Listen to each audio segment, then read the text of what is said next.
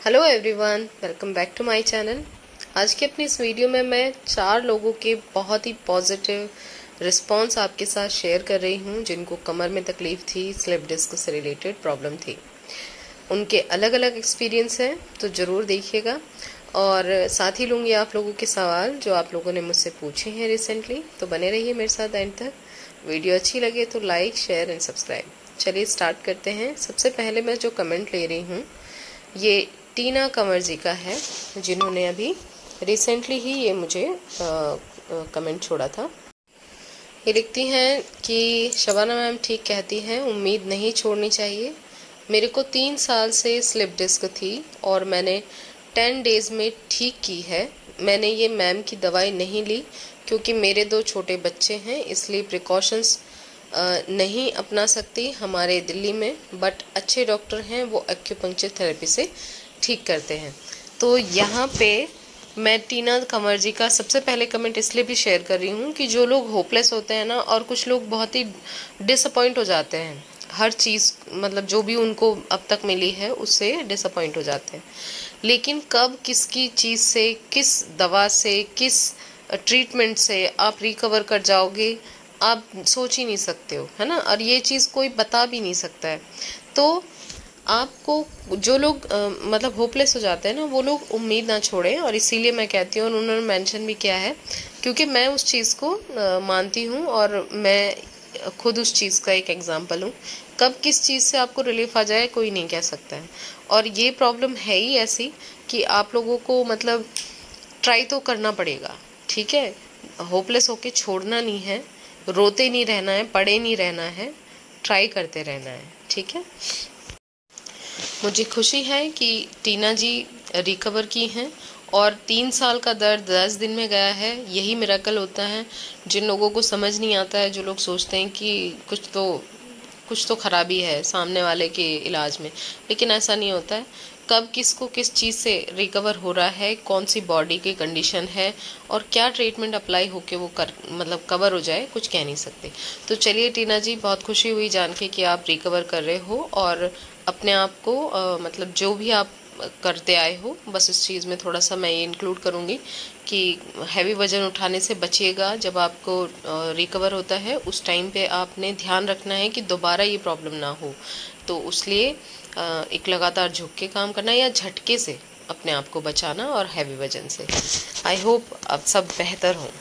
अगला मैं जिनका शेयर कर रही हूँ, ये हैं परी रानी और इंस्टाग्राम के थ्रू मेरी इनसे बात होती है और मैंने पिछले दिनों भी इनका एक्सपीरियंस शेयर किया था जब इनको रिलीफ आना स्टार्ट हुआ था। अभी रिसेंटली जो इन्होंने मुझे मैसेज छोड़ा है वो मैं आपके साथ इन्होंने लिखा है कि दी दर्द को 90 परसेंट आराम है हल्का हल्का नॉर्मल दर्द है कमर एल फाइव एस वन में अभी दुखन है हल्की और हल्का खिंचाव है नसों में पिंडली और पैर में थोड़ा टाइटपन है मुझे लगता है दीदी कि आपकी दुआ से मैं बहुत जल्दी ठीक हो जाऊँगी। जो थोड़ी दिक्कत रह गई है, पहले मैं भी यही सोचती थी कि मैं ठीक नहीं हो पाऊँगी। ये सब लोग ज़्यादातर जो बहुत लंबे टाइम से प्रॉब्लम में होते हैं ना, उनको ऐसा ही लगता है और ये, इनको भी काफ़ी टाइम हो गया था। तो ये लिख रही हैं कि मुझे भी ऐसा ही लगता था कि मैं ठीक नहीं हो पाऊँगी, पर मुझे उम्मीद बढ़ गई है कि मैं ठीक हूँ। और बच्चों को संभालने में थोड़ी दिक्कत होती है। देखिए, यहाँ पे ये मेंशन कर रही हैं, इनके छोटे बच्चे हैं और कुछ लेडीज़ बहुत ज़्यादा सवाल पूछते हैं कि हम छोटे बच्चों के साथ कैसे मैनेज करें। तो जितना हो सके आपको करना है, अपना थोड़ा सा दिमाग भी यूज़ करना होता है। ठीक है? तो इन्होंने लिखा है कि मैं बच्चों को संभालने में थोड़ी दिक्कत होती है और इसीलिए शायद इनको अभी कुछ प्रॉब्लम्स अभी बाकी है और इतनी भी जल्दी क्योर नहीं होती है, इसलिए ज़्यादा घबराने की ज़रूरत भी नहीं है। अगर आपको इतना रिलीफ लग रहा है कि आपको लग रहा है कि मैं 90 परसेंट ठीक हूँ तो अलहमदिल्ला ये काफ़ी अच्छा रिज़ल्ट है। यहाँ पे मैं मेंशन कर दूँ कि इन्होंने जो चीज़ें पहले ट्राई की थी, उससे जब रिलीफ नहीं हुआ तो इन्होंने यूनानी मेडिसिन ट्राई की हैं और प्रिकॉशंस और मसाज और सिकाई, जो मैं बताती हूँ, बिल्कुल एक्चुअल उसी तरीके से। ठीक है? प्रिकॉशंस के बिना किसी भी तरह के चाहे ट्रीटमेंट लो आप प्रिकॉशंस के बिना पॉसिबल नहीं है। मैं फिर से बार बार ये बोलती हूँ ताकि जो लोग मुझे बोलते हैं ना कि हमको रिलीफ नहीं हो रहा है हमको क्यों नहीं हो रहा है आ, कुछ भी चीज़ ट्राई कर रहे नहीं हो रहा है तो वो इस वजह से हो रहा है क्योंकि प्रिकॉशंस के बारे में जानकारी नहीं है हमें और तब हम ये गलतियाँ करते हैं है ना? तो इसलिए ध्यान रखिए। आगे इन्होंने लिखा है आ, पर मैं सारे काम करती हूँ। बहुत धन्यवाद। बहुत ध्यान से करती हूँ और इन्होंने लिखा है, मसाज और सिकाई दोनों टाइम करती हूँ। लेप का यूज़ मैंने इसलिए नहीं कर रही क्योंकि गर्मी बहुत ज़्यादा हो रही है। तो ये मसाज और सिकाई करते हैं, काम करते हैं अपना और बहुत ध्यान से करते हैं और सिर्फ़ वही चीज़ें मैं बोलती हूँ। काम तो मैंने भी किया है, बस थोड़ा सा एहतियात रखनी है, अपने दिमाग को यूज़ करना है, गलती नहीं करनी, ये नहीं सोचना कि एक बार झुकने से क्या होगा, कुछ नहीं होगा तो एक बार झुकने से ही प्रॉब्लम हो जाती है। इस चीज़ का थोड़ा ध्यान रखिए, या लगातार बैठने से हो जाती है, लगातार खड़े होने से या बहुत लंबा वॉक करने से भी हो जाती है तो उसका ध्यान रखिएगा। मैं खुश हूँ कि जो लोग भी रिकवर कर रहे हैं, मैं जानती हूँ कि एक बंदे का भी अगर लाइफ में थोड़ा सा भी चेंज आता है, वो दर्द, वो वो टेंशन उस चीज़ से अगर कोई निकल पा रहा है तो मैं सेटिस्फाइड हूँ इस चीज़ से कि चलो किसी को भी आराम तो हो रहा है। और उम्मीद करती हूँ कि जब कोई ठीक होता है तो वो दूसरों को भी बताए कि आप ये गलतियाँ ना करें और आप ये कर सक करके भी अपने आप को ठीक कर सकते हैं अगर कोई इस सिचुएशन में मिलेगा। बस हाथ बढ़ाना है दूसरे की हेल्प करनी है ताकि आपको जो है रिकवरी हो रही है वो दूसरों को भी वैसे ही उतने ही अच्छे रिज़ल्ट मिल सके। अब अपना ध्यान रखिएगा। एक्सपीरियंस आप लोगों के सामने शेयर कर रही हूँ इनका नाम कहकशा है और इंस्टाग्राम के थ्रू ही हमारी बात हुई है। आ, इनको काफ़ी टाइम हो गया था इनको इस दिक्कत में काफ़ी प्रॉब्लम में थी। हाँ इनको एक जो सबसे बड़ी तकलीफ़ थी वो ये थी कि दर्द तो था ही बेहिसाब लेकिन इनको टॉयलेट बार बार आता था मतलब पेशाब की शिकायत थी और बार बार आती थी शिकायत मतलब इस चीज़ से प्रॉब्लम से वो गुजर रही थी। उसमें इन्होंने लिखा है कि यूरिन में अब यूरिन में अब कुछ आराम मिला है। पहले जो बार बार आता था कुछ टाइम बढ़ गया है, माशाल्लाह से। आप दो घंटे पर जाते हैं। अल्लाह का शुक्र है और आपकी मेहरबानी। सब अल्लाह का शुक्र है जी। कुछ आराम है पहले से, दर्द में भी। चलिए, मैं बस ये उम्मीद करती हूँ कि सब अच्छे हों, सब तंदुरुस्त हों, जल्द से जल्द जो भी तकलीफ़ में, किसी भी तरह की तकलीफ़ में हो, और सबके लिए दुआ कीजिए। आप बस अपना एहतियात के साथ चलिए। मैं जानती हूँ फैमिली की ज़िम्मेदारी जब ऐसे पेशेंट के ऊपर होती है जो खुद मरीज़ हैं। यहाँ पे मैं बता दूँ, कहकशा जी के हस्बैंड भी पैरालाइज्ड हैं और बच्चे छोटे हैं उनके। तो वो कितनी स्ट्रगल कर रही हैं अपनी लाइफ में, इसका कुछ कुछ हिस्सा ही हम सोच सकते हैं। पर वो हिम्मत कर रही हैं और उनकी हिम्मत को सलाम है। आप अपना ख्याल रखिए और इन जल्द से जल्द आप सब सेहतमंद होंगे। ये नेक्स्ट जो एक्सपीरियंस है, ये मैं एन साहू जी के नाम से आईडी है। इंस्टाग्राम के थ्रू ही हमारी बात हुई थी और जिनको मेडिसिन नहीं मिलती है ना यूनानी जो जो सर्च करके थक जाते हैं, वो लोग मुझसे मंगाते हैं तो मैं उनको भिजवा देती हूँ। ये अगर किसी को चाहिए हो तो मुझे इंस्टाग्राम पर मैसेज कर सकते हैं, ठीक है? तो इन्होंने मेडिसिन मंगवाई थी, जो मैंने बताई थी कि मैंने ली हैं, वही मेडिसिन इन्होंने ट्राई की हैं। पर मैं ये कहूँगी, अगर कोई लेना चाहता है तो वो किसी हकीम से या किसी से कंसल्ट करके यूनाइन डॉक्टर से आप मेडिसिन ले सकते हो, ठीक है? तो इन्होंने पूछा, इन्होंने अभी तीन दिन ही हुए हैं लेते हुए इनको मेडिसिन और प्रिकॉशंस और मसाज ये सिकाई ये पहले से कर रही हैं। तो अभी इनका मुझे जो मैसेज मिला है, इन्होंने लिखा है कि मैम जो दवाई भेजी थी आपने, मुझे रिसीव हो चुकी है और तीन दिन हो गए उसे यूज़ करते हुए।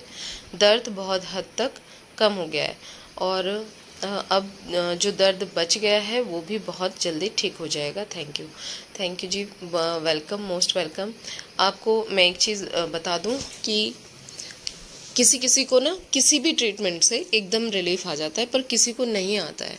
तो ये चीज़ कंफ्यूज मत होइएगा। कभी भी कि हमको देर में क्यों हो रहा है या हमको आराम क्यों नहीं हो रहा है। दूसरी बात है कुछ कुछ लोग बहुत सिंसियरली प्रिकॉशंस फॉलो करते हैं इमिडिएट समझ जाते हैं, जैसे मैं वीडियोस में बताती हूँ। लेकिन कुछ लोगों को समझ नहीं आता है या फिर वो अपनी मन मर्ज़ी से डाइवर्ट करते हैं या फिर फैमिली की ज़िम्मेदारी की वजह से, खासकर लेडीज़ काम को अवॉइड नहीं कर पाती हैं तो वो प्रिकॉशंस नहीं कर पाती हैं। इस वजह से भी किसी किसी को रिलीफ लेट होता है। मैंने आपको रिसेंटली एक भैया का शेयर किया था, उनको एक साल में आ जाके 80 परसेंट रिलीफ हुआ है। तो जा, जो, जिनको बहुत पुराना हो गया था, उनको सात आठ साल पुराना था मेरे ख्याल से तो ऐसा होता है कि हर किसी की जर्नी अलग है और हर किसी का समझने का तरीका भी अलग है, काम अलग है। तो इसलिए कंफ्यूज नहीं होना है और बेहतर हो कि आप किसी से कंसल्ट करके लो तो आपकी जो दुविधा है, जो आपका डर है, वो भी आपका दूर रहे। मेरा यही कहना है, हमेशा ध्यान रखिए। बाकी जो मेरे से हेल्प होती है, मैं हमेशा करती हूँ, ऐसी कोई बात नहीं है। जो जितना मैं जानती हूँ, उतना तो मैं बताती हूँ और इंस्टाग्राम के थ्रू ही मैं बात करती हूँ। जो लोग कांटेक्ट करना चाहते हैं, जो लोग चाहते हैं बात करना, उनसे। पर एक चीज़ और शेयर मेंशन कर दूँ कि कुछ लोग मतलब बिना वजह के सवाल बार बार रिपीट करते हैं और इतना टाइम नहीं होता है, मेरी भी अपनी लाइफ, अपने बच्चे हैं, अपना फैमिली है है ना? मेरा अपना काम भी है। तो और और बहुत सारे लोगों के मैसेज आते हैं। तो मतलब जो बिल्कुल आपको समझ नहीं आ रहा है, खाली वही पूछे छोटी छोटी चीज़ों के लिए मैसेज मत किया करें। मुझे भी अच्छा नहीं लगता है। कभी कभी मैं भी इरीटेट हो जाती हूँ। आप जानते हैं कि हर कोई इंसान अपने काम को पहले देखेगा ज़रूर। और मैं जानती हूँ कि दर्द में है तकलीफ़ में है लेकिन इसका मतलब ये नहीं है कि आप आ, किसी को मतलब नाजायज़ परेशान भी ना करें। बस कहने का मतलब ये है। हर किसी की बात नहीं कर रही हूँ। कुछ स्पेसिफिकली ऐसे लोग होते हैं जो चाहते हैं कि हम ठीक हो जाएँ लेकिन वो एफर्ट नहीं डालते हैं। कुछ लोगों का तो ये पूछना होता है हमारे इधर तो कोई हकीम नहीं है। हम क्या करें तो फिर वो सर्च करना पड़ेगा, है ना? तो ये कुछ नहीं, काफ़ी लोग ऐसे पूछने वाले होते हैं कि हम क्या करें तो प्लीज़ मैं नहीं बता सकती, अपने आसपास सर्च करें, अपने इधर उधर ढूंढें। आपको ज़रूर कोई अच्छे हकीम या यूनानी डॉक्टर मिल जाएँगे, अगर कोई यूनानी मेडिसिन लेना चाहता है तो।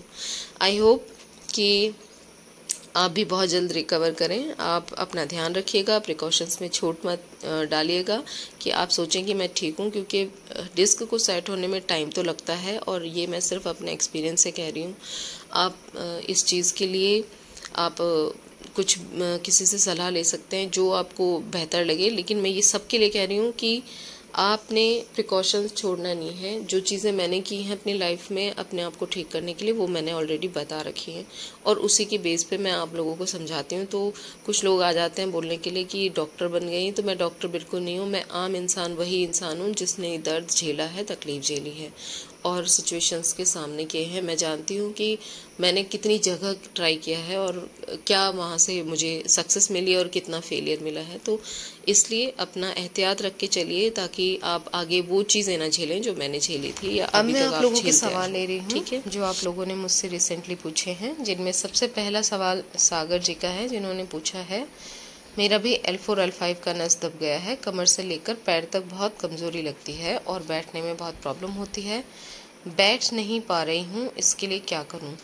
तो देखिए आई होप कि आपने सबसे पहले न्यूरोलॉजिस्ट या न्यूरोसर्जन को दिखाया होगा और अपना ट्रीटमेंट वहाँ से लिया होगा। अगर नहीं लिया है तो प्लीज़ न्यूरोसर्जन को दिखाएँ, ठीक है? सबसे पहले उनको दिखाएँ और अपनी एमआरआई कराएँ। करेक्ट प्रॉब्लम पता होनी चाहिए। कुछ लोगों को ना इधर उधर जाके जो मेडिसिन ले लेते हैं कमर दर्द की तो उनको बता देते हैं डॉक्टर कोई भी जो भी जनरली जानते हैं, वो बता देंगे कि नस दबी है।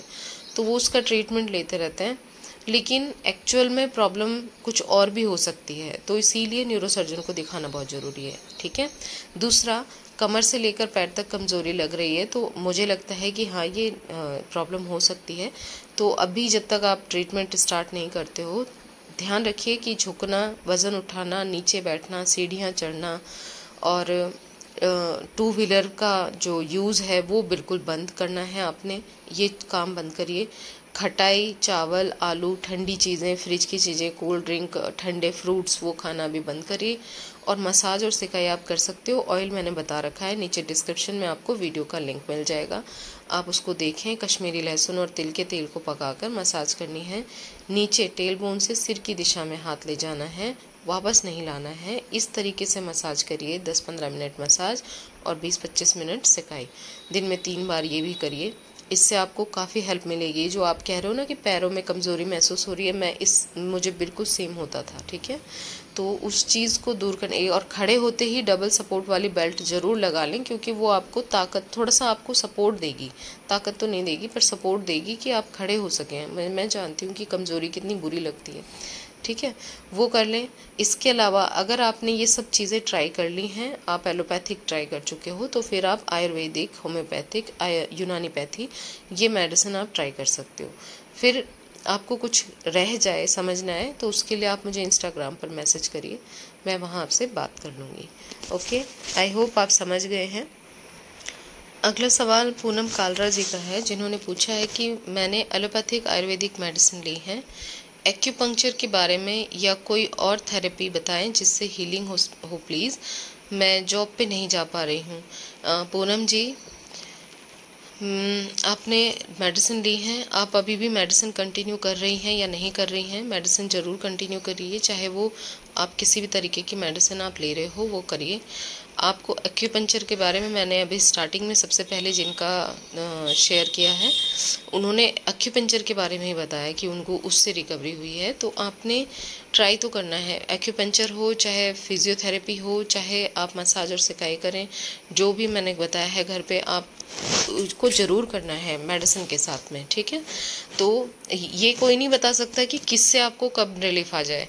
तो सभी चीज़ें अच्छी हैं, लेकिन आपके ऊपर अप्लाई होने के बाद वो आपके शरीर के लिए काम करती हैं या नहीं करती हैं, ये आपको एक्सपीरियंस करने के बाद ही पता चलेगा। आई होप आप समझ पाए हैं कि आपको प्रिकॉशंस तो मैंने बताई दी हैं ऑलरेडी वो आपको अप्लाई करने हैं मेडिसिन लेनी है, और जो थेरेपी आपको ईज़िली मिले, जो आप अफोर्ड कर सकते हैं वो करिए, वरना घर पे जो मसाज और सिकाई मैंने बताई है और जिस तरीके से बताई है, वो भी आप करके देख सकते हो।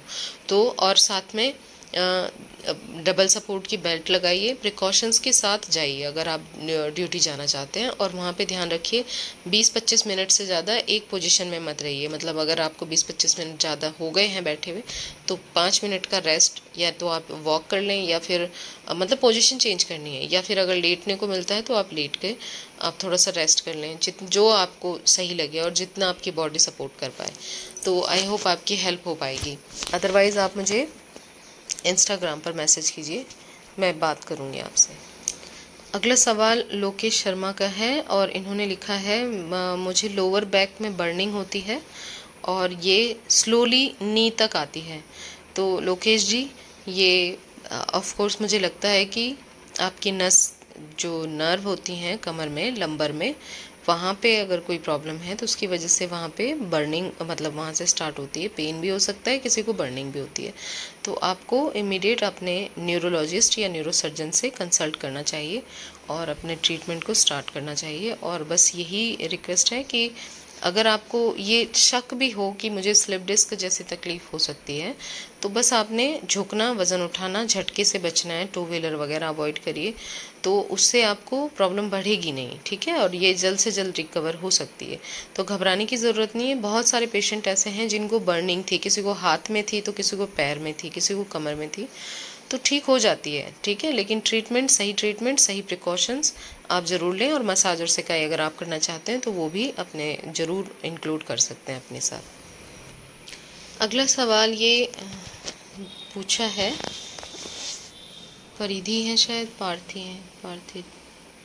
खैर, इन्होंने पूछा है कि मुझे यूनानी मेडिसिन से काफ़ी आराम है और तीन मंथ हो गए हैं दवाई लेते हुए, लेकिन कभी कभी दर्द बढ़ जाता है और कभी कम कम हो जाता है। और पीरियड के दिनों में दर्द और स्वेलिंग बढ़ जाती है, ऐसा क्यों होता है? देखिए हमारे जो ऑर्गन्स हैं, जो जनरेटिव ऑर्गन्स हैं वो लंबर से ही उनमें ब्लड जाता है, जो लंबर वाली जो नसें होती हैं, वहीं से जाता है। और जब लंबर में प्रॉब्लम होती है तो पीरियड्स में भी डिस्टरबेंस आती है मतलब उसमें दिक्कत होती है। और जहाँ तक दर्द, कमर दर्द की बात है, जब आपको स्लिप डिस्क है तो मैं उस चीज़ से गुजरी हूँ। मैं जानती हूँ कि पीरियड्स के टाइम पे कमर में भी दर्द बढ़ जाता था, ठीक है? तो इसलिए मैं बहुत ज़्यादा श्योर तो नहीं हूँ, क्योंकि आप बेहतर होगा अगर आपको बहुत प्रॉब्लम है। आप ज़रूर किसी अच्छे हकीम या यूनानी डॉक्टर से कंसल्ट करके मेडिसिन को लें। और हाँ ये कन्फ्यूज़न मैं आपका दूर कर सकती हूँ कि कभी दर्द कम हो जाता है और कभी बढ़ जाता है। तो वो ऑफ़ कोर्स वो हमारी जो काम करने की जो शैली है, जो हमने अभी तक जी है अभी तक हमने जो काम किया है, जिस तरीके से किया है तो वो हमें हैबिट होती है तो उसमें बहुत सोच समझ के ही ध्यान में रखा जाता है कि हम, मैंने ये काम नहीं करना है। और जब भी आप छोटी सी भी गलती करेंगे तो वहाँ पे आपको दर्द बढ़ता हुआ महसूस देगा। तो जो प्रिकॉशंस में गलतियाँ होती हैं, उनकी वजह से ही दर्द अक्सर बढ़ता है। या खाने की, आप इसमें खाने को भी इंक्लूड कर सकते हो। बहुत सारे आपको मेरे वीडियो में कमेंट मिल जाएँगे नीचे, जो लोग बताते हैं कि हाँ हमने चावल खाया तो हमें अगले दिन दर्द नज़र आ गया बढ़ा हुआ या हमने दही खा ली तो हमें दर्द बढ़ गया। तो खटाई हो, चाहे ठंडी चीज़ें हो, आप कोल्ड ड्रिंक पी लो, उसी से पेन बढ़ जाता है इंक्रीज हो जाता है बहुत। क्योंकि जो ठंडक है वो नसों को या ब्लड को मतलब ठंडा करेगी ना तो फिर वो फ्लो अच्छे से नहीं होगा। वो फ्लो अच्छे से नहीं होगा तो फिर हमें अपने आप ही जहाँ ब्लॉकेज है, वहाँ पे और ज़्यादा दर्द महसूस होगा। तो आई होप आप समझ पाए हैं कि मैं क्या कहना चाह रही हूँ कि प्रिकॉशंस में गलती ना करें और अपने आप को बहुत जल्दी मतलब केयरलेस नहीं हो जाना है। अगर आपको रिलीफ आ रहा है तो केयरलेस नहीं होना है, बल्कि ध्यान से अपने काम को अंजाम देना है। हर काम को कर सकते हैं, लेकिन एहतियात के साथ ही करना है, अपना ख्याल खुद रखना है। तो बस आज के लिए इतना ही। उम्मीद करती हूँ कि मेरी वीडियोस में बहुत सारे पॉजिटिव कमेंट आए।